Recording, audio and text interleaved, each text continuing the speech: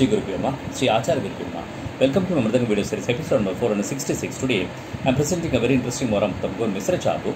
Mohra set to 104 Kriyas, Sumukta set to 42 Kriyas each. The prefix of the Mohra is Misra Gati followed by Chaturasha Gati. Hope you are all enjoying my non-stop video series. Varieties of Moharam Tamagubus, various talas, without repeating any ideas so far, since last 465 days. Let us see how this performance goes. Hope